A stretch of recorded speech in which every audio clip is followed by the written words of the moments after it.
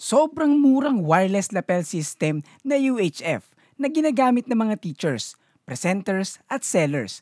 Ang tanong ko eh, gagana ba ito as a guitar wireless system?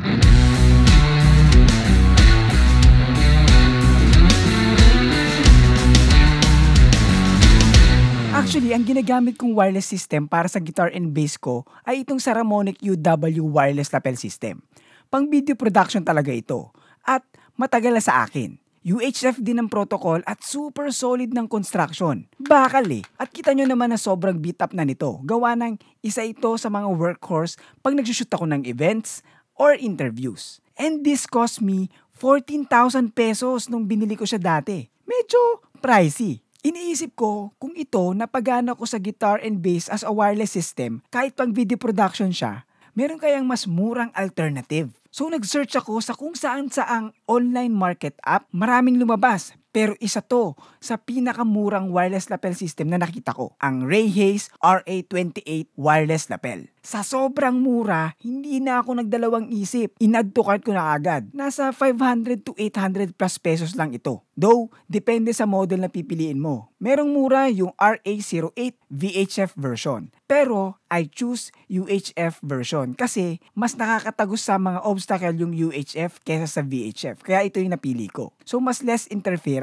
Pero, konti lang naman yung price difference so, mura pa rin. At dahil mura, naisip ko kung hindi gagana sa gusto kong paggamitan, okay lang kasi hindi naman siya nakakaiyak bulsang presyo. Pero sa murang halaga nito, ano ba ang makukuha mo? Pag bumili ka. So ito yung box, same lang yan sa harap at likod, wala namang special sa kanya. So buksan na natin. Sa loob, may foam na nag-hold ng mga items natin. Unahin natin yung miscellaneous items tulad nitong 3.5 mono to PL adapter. USB Type-A to Type-C charging cable. Maiksi lang siya so wag mo iwala pero marami ka naman yan for sure. Batteries, 2 double A's para sa transmitter at isang 18650 na battery para sa receiver. Kung nagbe-vape ka tulad yan ng mga LG Choco na batteries, hindi ako nagbe-vape. I just know. Sa package, meron ka ding makukuhang normal na lapel. So ito yung ipapasok mo sa loob ng damit mo, then ikiklip mo near your mouth. Long enough naman yung cable, mga nasa 1 meter itong cable na ito. Meron ding head-worn mic. So ito yung mga ginagamit ng mga teachers at mga seller. So kung bet mo yung mga ganyan, meron niyang kasama sa package. Dito na tayo sa star ng video na ito. Yung transmitter, ito yung pinaka body pack. So ito yung ilalagay mo sa katawan mo. At ito naman yung receiver. Ito naman yung ilalagay mo sa mixer speaker, or any output device. Given na sobrang mura nito, expect mo ning build quality eh mura din. So very plasticky, magaan yung build quality na dapat iingatan mo yung product. Gawa ng malaglag mo lang ito, sigurado malaki ang chance na masira. Well, you get what you paid for. Siyempre, para sa murang product, ang una nilang titipirin ay yung build quality. Though, okay lang naman, basta ingatan mo lang. Yung transmitter, ang pinaka-dimension niya ay 9.2 by 6.5 by 2.4 cm. Meron siyang 3.5 mono input, antenna, one knob that acts as an on and off switch, siya rin yung volume. Meron din siyang belt clip so madaling i-clip yan sa belt or sa pants mo or sa strap ng gitara kung gagana ito as a guitar wireless system. Malalaman niyo yan later. May battery compartment for 2 AA batteries. Nandyan din sa loob yung 4 buttons para pag sinara mo yung cover, hindi mo aksidenteng mapipindot yung mga buttons. Pangit naman kung magbabago yung setting in the middle of usage, di ba? Kaya ganyan ang design yan. And speaking of buttons, yung apat na bilog na yan, yung tatlo dyan, walang silbi.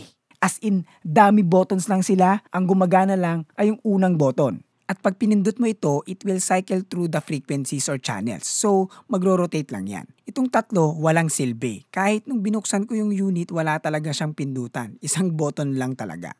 Yung pinaka-transmitter niya ay may LCD screen, makikita mo dyan yung signal, battery life at yung frequency or channel kung nasan ka. Nandyan yung battery indicator sa upper left. Pag maglolobat na at one bar na lang, magbiblink yan. Yung signal indicator dito sa transmitter parang wala namang silbi. Gawa ng nakailaw lang siya ng ganyan. Kahit patay yung receiver. Dapat kung wala siyang makikitang receiver, at least nagbiblink man lang or walang bars. Pero kahit patay yung receiver, full bars ang lola mo. Kaya, don't rely on that. Palamuti lang siya dyan.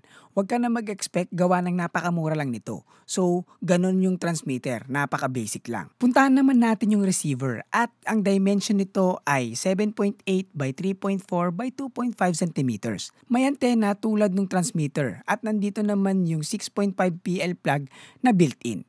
Meron siyang sliding battery cover at sa loob niyan, dyan mo ilalagay yung 3.7 volts na 18650 na battery at provided naman yan sa package. Rechargeable yan at pwede mong i-charge yan sa pamamagitan ng USB Type-C port dito sa gilid ng receiver. Sa tabi nito, meron itong on and off switch. Malamang dyan mo bubuksan yung unit. Sa in-between ng dalawang yan, merong power LED indicator na kulay green. Yan din yung indicator pag nagcha-charge ka. Kulay red naman ito while charging at mamamatay na lang yan pag full charge na. Sa kabilang side ng USB port, nandun naman yung signal LED indicator na iilaw ng kulay red pag connected na siya sa transmitter, tulad ng nakikita nyo sa video. So, pag pinatay ko yung transmitter, mamamatay din yan. So, kung titignan, napakasimple lang ng operation ng wireless lapel system na ito. Yung pinaka-mic mo, dito mo lang isasaksak, so isaksak natin. Bubuksan mo lang yung transmitter by turning the knob and you can set the volume there. Then, yung receiver bubuksan mo by this switch. Automatic nang magpe-pair yan. Makikita mo naman gawa ng iilaw yung red light indicator. Tapos, pwede mo nang i-connect yung receiver sa mixer or sa speaker or interface. It's up to you kung saan mo ilalagay yan to output your sound. You can use a provided PL to 3.5 adapter kung yun ang hinihingi ng output device mo. So, sabi ko nga kanina, yung button will cycle sa mga channels so meron kang 16 channels na pagpipilian from 677.7 MHz to 686.7 MHz. Pag nag-switch ka ng channel, automatic din na magpapalit yung receiver. Hindi mo na kailangang iset yung dalawang unit individually. So, tines natin kung ano ba yung sound niya gamit yung mga provided na mic. Ito yung lapel. The quick brown fox jumps over the lazy dog. The quick brown fox jumps over the lazy dog. So kung pakikinggan natin, meron siyang humming sound sa background. For some reason, pag gamit ko ang mic na ito, meron talagang ganyang sound. Mahina din kasi yung input ng mic, so kailangan mong itodo yung pinaka-volume nung transmitter. Ito naman yung headworn mic. The quick brown fox jumps over the lazy dog. The quick brown fox jumps over the lazy dog. Ito naman, mas malakas yung tunog niya given mas malapit siya sa bibig. Kaso, medyo muffled yung tunog. So it's up to you kung usable sa'yo para sa use case mo yung mga tunog ng mic na ito. Yung sound niyan, syempre, i-define nung mic na provided. Given na this is a cheap mic, yan talaga yung mapoprovide niyang sound. Yung receiver, transmitter, nagpapadala lang naman yan ng signal na binibigay ng mic na provided. Kung gagamit ka ng mas magandang mic, syempre, it might sound better dahil maganda na yung finifeed mong signal sa transmitter at receiver. Pero kung ang use case mo lang naman ay for teaching or selling at hindi recording na kailangan ng high quality output, I think it's fine. So, ito na yung tanong na hinihintay ng marami. Will it work as a guitar or bass wireless system? The answer is, ten yes! Gagana siya as a guitar or bass wireless system. Kasi technically, yung signal ng instrument mo, parang mic lang yan mas malakas lang ng konti sa mic level input yung signal niya. So, gagana talaga yan. So, para mapagana mo yan, kailangan mo ng 3.5 mono plug to 6.5 PL plug. Well, ako gumawa lang ako ng sarili kasi marunong naman ako maghinang. Maglilink na lang sa description kung makakita ako sa Shopee. So, ito yung test natin kung may signal or tone loss ba pag ginamit mo ito as a wireless system sa mga gitara mo.